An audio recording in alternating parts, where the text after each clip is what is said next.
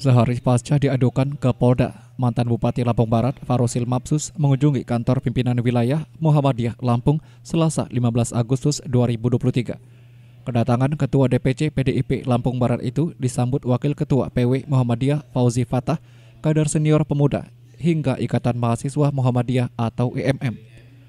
Farosil Mapsus menyampaikan permohonan maaf di depan pimpinan dan kader-kader Muhammadiyah. Ia berharap permintaan maafnya dapat diterima dengan tulus. Pak Rosil berharap peristiwa ini bisa menjadikannya lebih dewasa dan bijaksana. Ia berharap bisa menjadi tokoh politik yang mengayomi semua lapisan.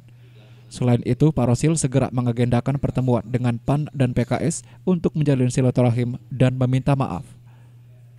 Koordinasi ya, membangun komunikasi. Jadi ya, saya kan saya sampaikan, Pak Ci ini manusia biasa yang tidak luput dari kekurangan, kelemahan dan kealfaan. Saya sadar hiruk pikuknya beberapa hari ini berkat viralnya potongan video yang Paci sampaikan.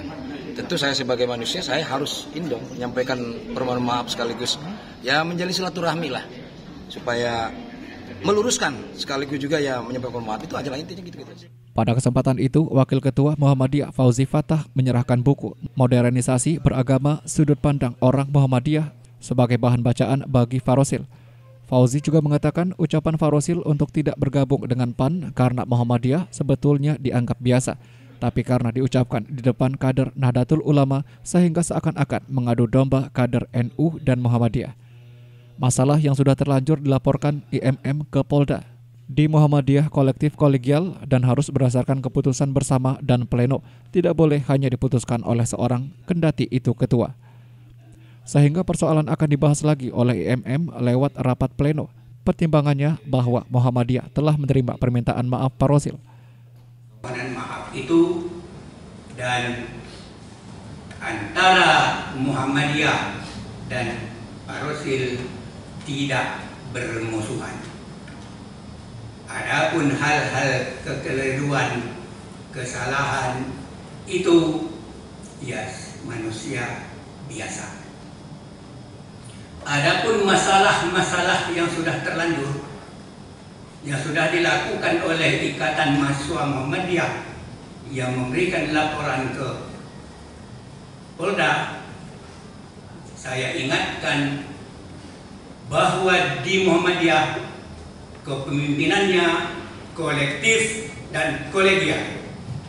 Setiap kebijakan yang dikeluarkan oleh organisasi yang di bawah naungan Muhammadiyah harus berdasarkan keputusan bersama keputusan pleno.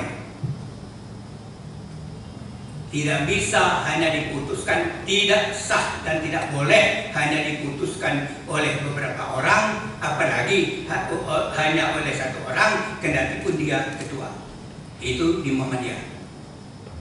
Oleh karena itu, masalah yang satu itu agar supaya dibahas kembali oleh Ikatan Mahasiswa Muhammadiyah di dalam rapat pleno bukan oleh hanya ketua dan sekretaris.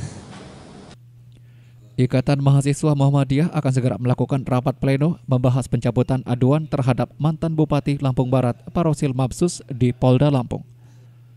Jenny Pratika Surya melaporkan.